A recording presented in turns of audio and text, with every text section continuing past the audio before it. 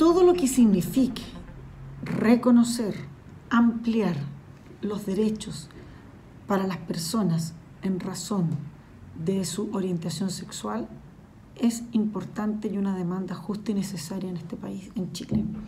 Sobre todo si se trata de los hijos habidos en una pareja del mismo sexo. Especialmente en el caso de las parejas lesbianas que tienen la opción de recurrir a las técnicas de fertilización asistida y pueden juntas concurrir con la voluntad procreacional a someterse a estas técnicas. Desgraciadamente para la legislación chilena, la filiación se determina por el hecho del parto. En este evento la madre gestante y es la que al final va a parir, es la que tendría la única relación de madre. No así la comadre, que es la pareja lésbica, la cual también concurrió al proceso aportando su voluntad procreacional y compartiendo todos los elementos para formar y fundar una familia.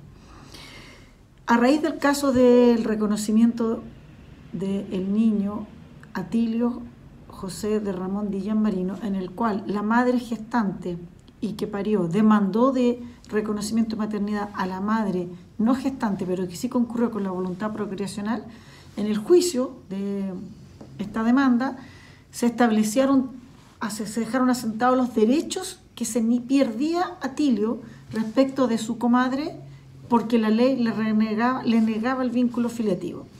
Y entre esos derechos se establecía a ser heredero, a ser beneficiario del sistema de salud pública o privada, a ser carga de familia en el sistema de previsión social, al derecho a la sala cuna financiada por el empleador de la madre no gestante, a ser beneficiario del seguro de vida de la madre no gestante, a ser beneficiario del sistema de bienestar social del Estado como carga de su madre no gestante, a ser cuidado por su madre no gestante en el caso de discapacidad o muerte de su madre gestante, a ser considerado alimentario de su madre no gestante en los casos establecidos en la ley 20.680, a mantener contacto directo y frecuente y regular con su madre no gestante en los casos establecidos en la ley 20.680, a ser reconocido como hijo de la madre no gestante en los servicios de urgencia hospitalaria con el riesgo de ser separado de ella, a ser reconocido como hijo de la madre no gestante en el sistema escolar. Y en consecuencia de esto a que la madre no gestante pueda, por ejemplo, autorizar la salida del país en giras de estudio, autorizar la asistencia a campamentos de scout, etc. También a, que, a participar en las actividades extraprogramáticas de su hijo y a darle autorización a reconocerle la afiliación a la madre no gestante, se está privando a ese niño a toda la vinculación familiar con la madre no gestante, sus tíos, sus tías, sus abuelos, sus abuelas, sus primos, etc. En el caso que fallezcan ambas madres, tanto la gestante como la no gestante en la pareja lésbica, a que los tíos de la madre no gestante puedan ser sus tutores legales. Eh, bueno, a que la madre no gestante pueda demandarlo de alimento en el caso de vejez o incapacidad a futuro. A que la madre no gestante lo autorice cuando tenga la edad legal y sea menor de edad para trabajar para ser representado ante la justicia por su madre no gestante, a ser heredero por avintestato de la familia de la madre no gestante, entiéndase los abuelos, los tíos, etc. Bueno, todos estos derechos se están perdiendo y que se buscaría reconocer por este proyecto de ley. Por lo tanto, puedo decir que este proyecto de ley lo encuentro que si se aprueba sería un avance significativo para los hijos y las hijas de las parejas del mismo sexo. El artículo octavo de la Convención de los Derechos del Niño establece que el derecho a la identidad se define como el conjunto de atributos y características que permiten individualizar a la persona en sociedad. Es decir, todo aquello que hace que uno sea uno mismo.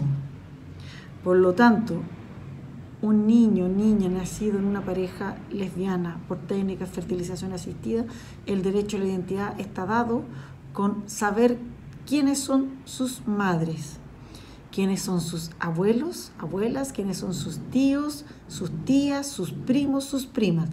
Ese es el derecho a la identidad que se busca resguardar con este proyecto de ley. No el derecho a escarbar quién es el padre que aportó el gameto, el espermio.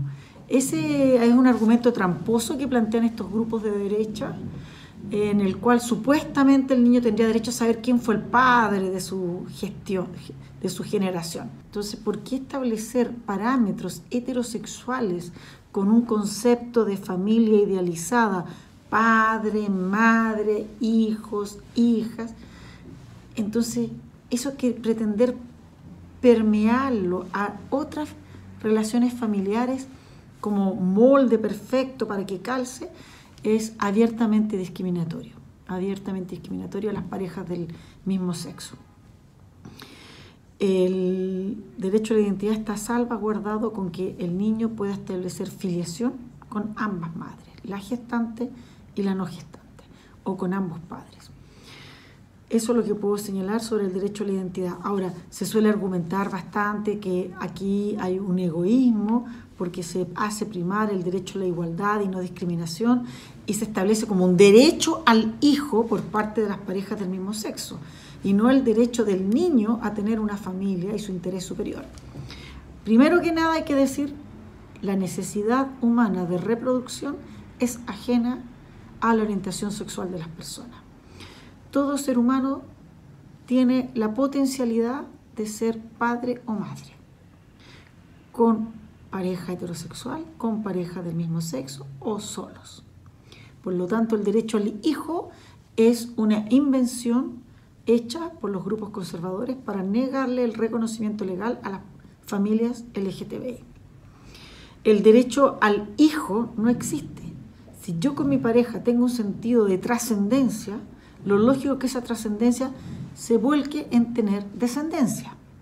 Si a nivel biológico las lesbianas no pueden ser madres porque necesitan el gameto masculino, bueno, las técnicas de fertilización asistida nos dan esa herramienta médica. Además, en el siglo XXI, la medicalización de la reproducción ha quitado la necesidad de que la procreación se haga entre un hombre y una mujer dentro de una relación de pareja estable. Eso por una parte. Lo más complejo respecto a las parejas gays, los cuales pueden tener la adopción para acceder a la paternidad o recurrir a la maternidad subrogada. Este proyecto deja fuera eso, deja fuera, deja fuera esa parte. Pero yo creo que tendríamos que hablar más adelante, quizá ese debate es un debate justo y necesario que se va a tener que hacer en su momento. Este proyecto encuentro bastante bueno, es un avance para los derechos de las parejas LGTBI y para sus hijos, pero también encuentro que lo que corresponde legislar es sobre el matrimonio igualitario. El proyecto de ley de matrimonio igualitario contempla los derechos filiativos de suyo. Por lo tanto, lo que corresponde aquí es una reforma integral al sistema de familia chileno, partiendo desde el derecho al matrimonio. Porque si tú te casas y tienes igualdad de matrimonio, como las parejas heterosexuales, todo lo demás cae de suyo y se redefinen los conceptos. Padre, madre, se redefinen, se puede usar progenitores como en Argentina, progenitores. Y lo mismo para las técnicas de fertilización asistida, si se acepta, listo. Y con eso los hijos de nuestras parejas del mismo sexo estarían reconocidas por el solo ministerio de la ley, ya sean matrimoniales, si se acepta el matrimonio en parejas del mismo sexo, o hijos no matrimoniales si nacen de una relación del mismo sexo, de pareja del mismo sexo, pero que no se han casado, sino que han hecho un acuerdo de unión civil o son solteros en una unión libre que decidieron ser padres.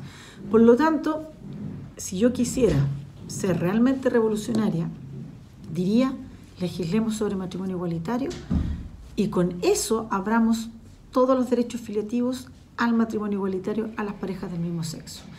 Y apliquemos la misma lógica que hay ahora y seríamos claramente resuelto el problema de los derechos filiativos de las parejas de lesbianas y de las parejas gays. Eso es lo que puedo señalar, pero este proyecto es un gran avance y esperamos seguir avanzando en los demás.